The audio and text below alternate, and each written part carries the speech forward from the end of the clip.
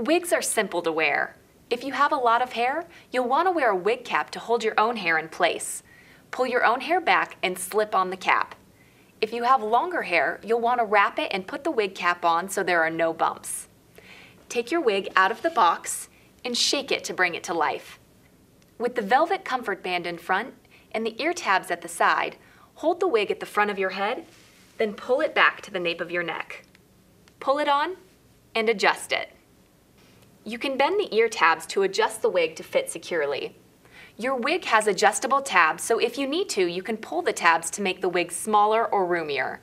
For extra security, some women like to use bobby pins to keep the wig in place. Some women like to show some of their own natural hair.